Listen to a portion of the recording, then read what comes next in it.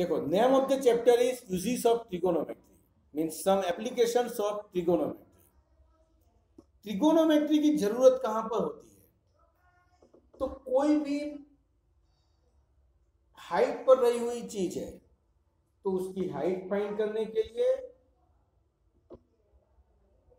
या on the ground distance find करने के लिए। इसीलिए उसको हम हाइट एंड डिस्टेंस भी बोलते हैं। इस चैप्टर को हम हाइट एंड डिस्टेंस भी बोल सकते हैं। तो सबसे पहले इसकी थोड़ी टर्मिनोलॉजी हम समझ लें। ओके तो चलो टर्मिनोलॉजी समझो। सपोज़ ये है ग्राउंड लेवल आप यहाँ पर हो और एक बिल्डिंग है बिल्डिंग पर एक इंसान खड़ा है। इस इंसान को आप देखते हो। तो आप पहले सीधा देखोगे ग्राउंड लेवल पे। जब भी हम सीधा देखेंगे, उस रे को हम क्या कहेंगे? बोलो।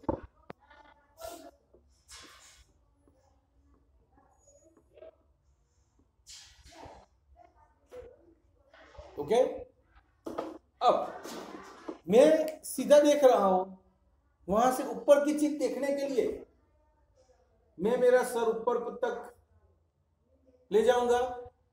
तो ये जितना भी एंगल बनेगा, इसको कहेंगे एंगल ऑफ़ एलिवेशन ओके और ये जे, जो रे है, जिस रे के हिसाब से हम ये चीज़ देखेंगे, इसको बोलेंगे रे ऑफ़ विजन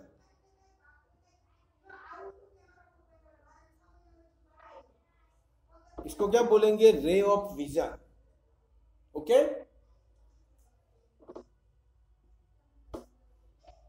ऐसे ही, ये ग्राउंड है, कोई एक चीज़ ऊपर है।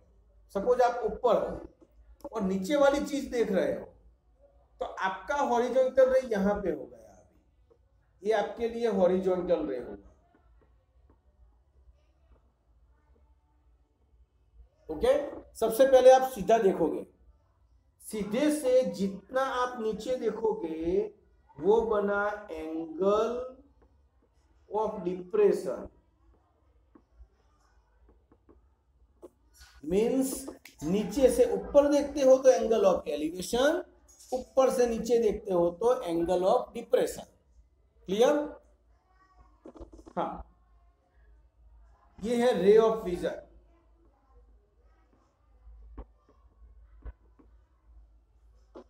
अब सही में देखो ना तो ये राइट एंगल ट्राइंगल बन गया। यहाँ पे ये राइट एंगल बन गया। सपोज़ आपके पास एक एंगल हो और तीन साइड में से किसी भी एक साइड हो तो आप अनदर साइड फाइंड कर सकेंगे। दूसरी कोई भी साइड आप लोग फाइंड कर पाओगे। ओके तो बस यही है। तो आपने चैप्टर नंबर एट में मेथड नंबर फाइव में वही समझा था। कि एक एंगल एंड एक साइड की वैल्यू है तो दूसरी वैल्यू फाइंड करो। तो ये पूरा चैप्टर नंबर नाइन चैप्टर एक का मेथड नंबर फाइव दूसरा कुछ नहीं है। हाँ बट यहाँ पर सब सम प्रैक्टिकली दिए हुए तो सबसे पहले हमें फिगर बनानी होगी और फिगर के हिसाब से हमें काम करना है। अब एंगल ऑफ़ डिप्रेशन हुआ। तो यहाँ पे आप सोचोगे कि ट्रायंगल में तो कोई एंगल दिया ही नहीं है। तो क्या करेंगे? तो देखो, ये दो लाइन पैरेलल हो गई इसीलिए ये अल्टरनेट एंगल्स बन गए। बन गए ना? तो जितना ये एंगल होगा, उतना ये एंगल होगा। अब ये एंगल मिल गया और कोई भी एक साइड होगी then you can find another sides okay chapter number nine example one ચલો તમે બધા તમારી ટેક્સ્ટ બુકમાં રીડ કરો અહીંયા મોક્ષ રીડ કરશે મોક્ષ વાંચ A tower stands vertically on the ground. Okay જો step by step ground level તો આમ જ હોય ટાવર સ્ટેન્ડ્સ વર્ટિકલ ટાવર આ રીતે ઊભું જ હોય Uh, from a point on the ground which is 15 meter away from the foot of the tower. ground पर एक पॉइंट है वो फुट ऑफ़ द टावर से मीन्स टावर के नीचे के भाग से 15 मीटर दूर है। The angle of elevation of the top of the tower is found to be 60 degree. यहाँ से टावर का एंगल ऑफ़ एलिवेशन 60 है। Find the height of tower. Find the height of the tower हो गया? Very simple सा। सबसे पहले name दे। दो अब इसमें मार्किंग कैसे होता है वो समझ लो। आपकी फिगर सही है, ये राइट एंगल बता परफेक्ट फिगर आधा मार्क श्योर हो गया। उसके बाद इस फिगर का एक्सप्लेनेशन लिखो। मीन्स ऐसे A B is equal to height of the tower. BC is equal to distance of a point from the tower is equal to 15 meter जो मेजर है वो लिखना है angle A C B is equal to 60 and angle B is equal to 90 okay?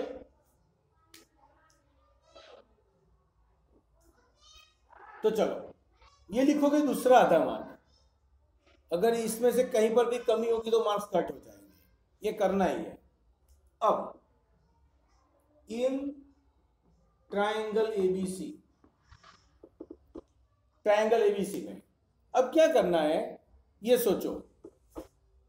जो angle दिया हुआ है उसी एंगल को एज्यूम करके दो साइड ऐसी सिलेक्ट करनी है, जिसमें से एक साइड की वैल्यू आपको दी हुई हो और दूसरी साइड फाइंड करनी हो। बराबर? तो फाइंड क्या करना है हमें ए बी तो ए बी इसके लिए क्या है? ऑपोजिट साइड वैल्यू है बीसी की बीसी है एडजस्टेंट साइड तो opposite side upon adjacent side क्या होगा? टेन रेशियो होगा टेन तो हमें टेन सिक्सटी लेना है। कोई सपोज़ ऐसा भी समझे, सर एडजस्टेंट अपॉन ऑपोजिट करें तो क्या प्रॉब्लम है? कोट लेके कोई प्रॉब्लम नहीं है। बट जहाँ पर कोट आता है तो उसका उल्टा टेन आ ही सकता है। तो टेन आता हो तो कोट की ज़रूरत नहीं है साइन आता हो तो कोसेक की ज़रूरत नहीं है कॉस आता हो तो सेक की ज़रूरत नहीं है। फिर भी आपने कोट लेके किया तो आंसर तो सेम ही आएगा, कोई फ़र्क नहीं है।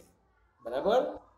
चलो tan sixty is equal to direct value A B upon adjacent side B C चलो टेन सिक्सटी की value root three is equal to A B B C की वैल्यू फिफ्टीन फिफ्टीन यहाँ मल्टीप्लाई हो जाएगा fifteen root three is equal to A B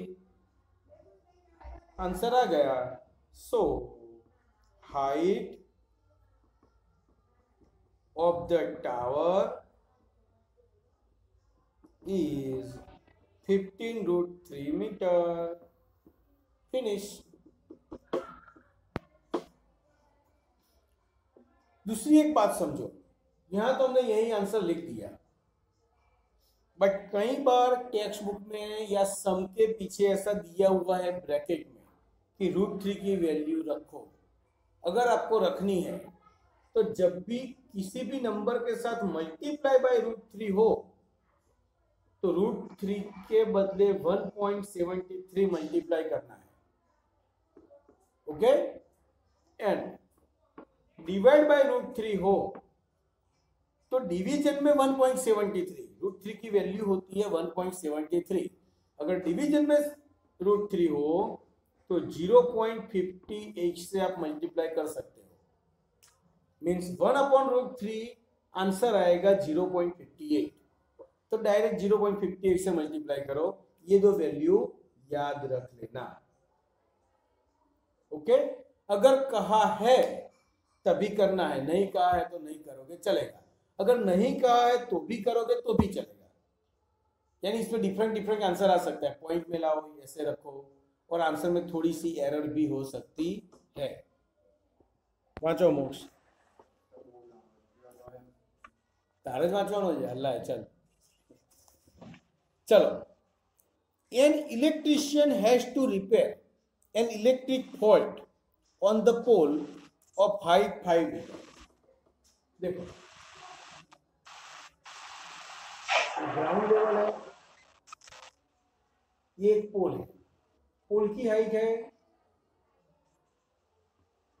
five metre okay electrician को five metre height वाले pole पर एक fault हुआ है, वो रिपेयर करना है। शी नीड्स इलेक्ट्रिशियन गर्ल याद रखना। यानी ये कंफ्यूजन मत रखना कि सर मैंने गर्ल इलेक्ट्रिशियन तो नहीं देखा है तो यहाँ देख लो। She needs to reach a point 1.3 meter below the top of the pole to undertake the repair work. Repair करने के लिए पोल के टॉप से 1.3 मीटर नीचे आके रिपेयर करना है। यानी अगर ऐसा सीधा दिया हुआ होता ना 3.7 मीटर हाइट पर रिपेयर करना है तो भी चलता। बट आपको समझे क्वेश्चन सिर्फ़ घुमा के दिया है, दूसरा कुछ नहीं है इसमें। What should be the length of the ladder that she should use? Which, when inclined at the angle of 60 to the horizontal? यहाँ पे वो एक लेडर रखती है। एंगल 60 का बनाता है तो लीडर की लेंथ क्या होगी? And enable her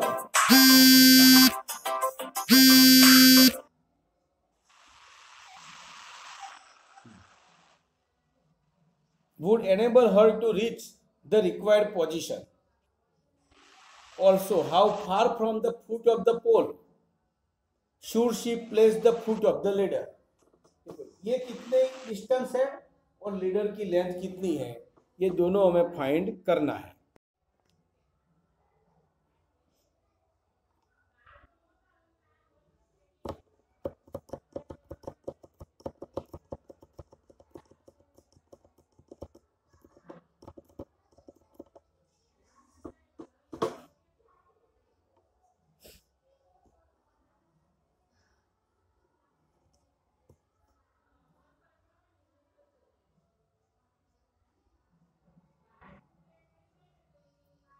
બાળકો બે મિનિટ વેઇટ કરો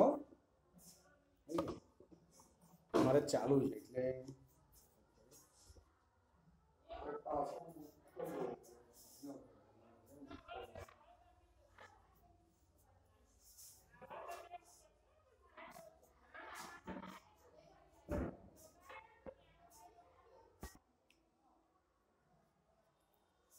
चलो फिर से एक बार A C is equal to height of the pole five meter, A B is equal to one point three, A dash B dash C तो फाइव में से वन पॉइंट थ्री माइनस होगा three point seven मिलेगा, okay? Angle B D C is equal to sixty and angle C is equal to ninety अब, B D is equal to length of the ladder okay and C D is equal to distance between foot of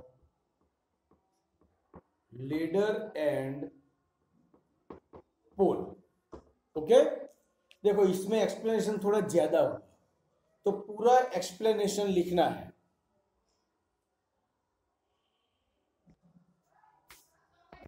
चलो, उत्कर्ष कहता है, सबसे पहले हम CD find करेंगे। और question में साथ में लिखा भी है, देखो लास्ट में ब्रैकेट में, कि रूट थ्री की वैल्यू 1.73 आपको रखनी है। बराबर?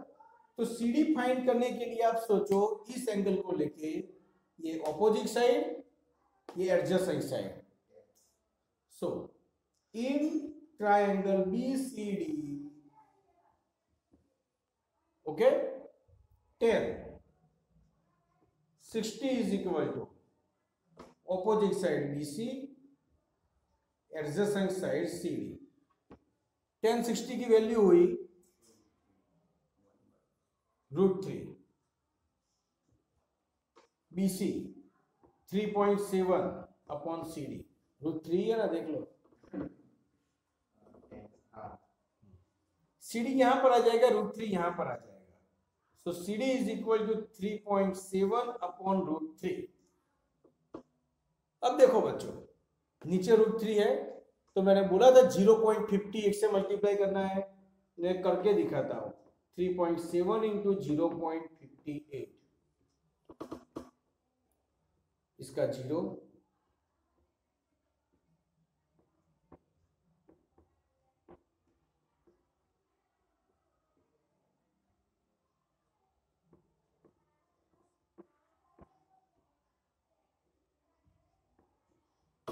अब देखो, यहाँ पॉइंट के पीछे एक डिजिट है, यहाँ पॉइंट के पीछे दो डिजिट है। टोटल थ्री डिजिट हुए तो थ्री डिजिट के आगे मैं पॉइंट रख दूँगा।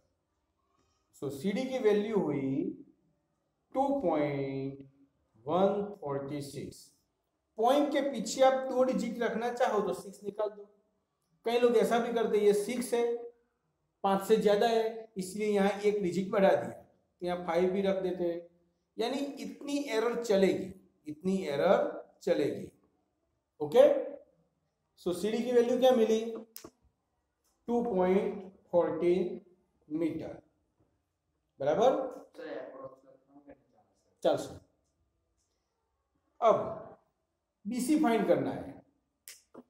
तो ये एंगल के हिसाब से ये ऑपोजिट साइड ये hypotenuse opposite side upon hypotenuse mean sine sine 60 is equal to BC upon B D sine 60 की वैल्यू है root three by two B C three point seven upon B D B D यहाँ पर two यहाँ पर. So B D is equal to two into three point seven upon root three देखो three point seven upon root three तो हमने ये लिया multiply by two ही है तो वही कर दो. Is two four point twenty eight metre okay last में लिख देना है, distance between foot of the ladder and foot of the pole is 2.14 meter and length of the ladder is 4.28 metre ये हमारा सम यहाँ पर कंप्लीट हो गया। ये टू था और ये सेम था, इसीलिए मैंने डायरेक्ट कर दिया। अदरवाइज़ आपको मल्टीप्लाई करके आगे करना है अच्छी तरह से।